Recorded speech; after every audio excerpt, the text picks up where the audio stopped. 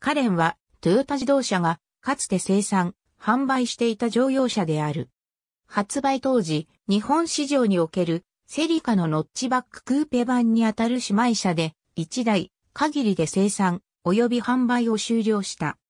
日本で販売されていたハッチバッククーペの6代目セリカをベースにした2ドアノッチバッククーペのセリカがセリカノッチバックとして北米市場向けに生産されていた。異様4灯、ヘッドランプを搭載する ST200 系セリカの特徴的なフロント周りをコロナクーペを彷彿とさせるオーソドックスなスタイルに変更したモデルである。形式は ST206、ST207、ST208 の3種類。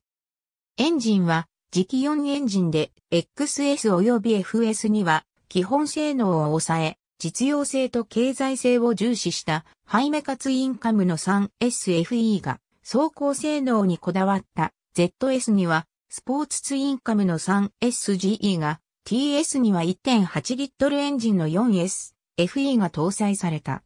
XS には 4WS 仕様の XS ツーリングセレクション ZS にはスーパーストラットサスペンション仕様の ZS スポーツセレクションの設定があった。いずれのエンジンにも5速 MT または4速 AT が組み合わされた。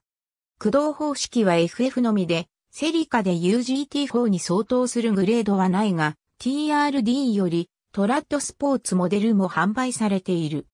3SGE が搭載されており、300台の販売台数限定で1995年10月から1996年3月までの6ヶ月間に販売されている。上述の通りカレン自体がセリカのノッチバック仕様そのもので、基本メカニズムは T200 型セリカと同一である。同等グレードと比較した場合、カレンの方が 30kg 軽く、合成面で有利となっている。